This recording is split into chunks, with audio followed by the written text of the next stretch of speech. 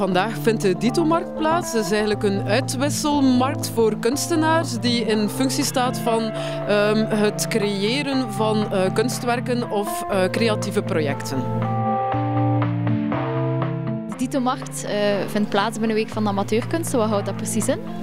Uh, de Week van Amateurkunsten is eigenlijk een tiendaagse waarbinnen uh, lokale amateurkunstenaars eigenlijk hun werk kunnen tonen uh, binnen de gemeenten en steden.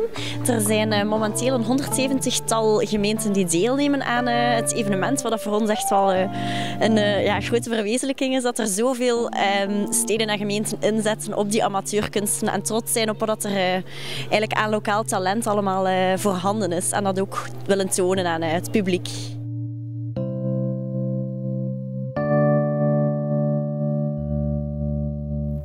Door gewoon eigenlijk een soort speeddate te doen, komen we in contact met ja, nieuwe mensen, misschien nieuwe voorstellen uh, die voor ons interessant kunnen zijn voor onze VZ2 en ja, de verdere opbouw eigenlijk van onze VZ2.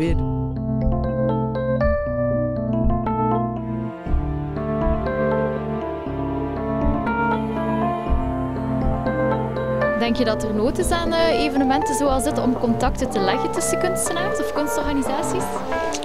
Ja, vind dat wel supergoed dat dat gebeurt.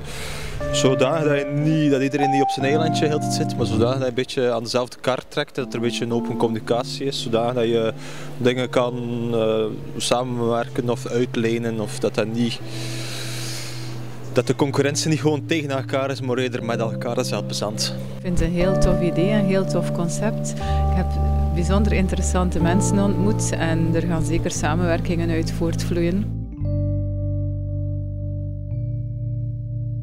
Kleine initiatieven, maar ook vooral eh, soort, initiatieven zoals hier de Ditto-markt, ehm, die aantonen dat, dat je je amateurkunstenaars ook op een andere manier kunt tonen. Niet, het moet niet altijd een klassieke tentoonstelling of expositie zijn, maar het kan ook door een vernieuwend concept zoals dit, door kunstenaars in contact met elkaar te brengen en ontmoetingen te creëren.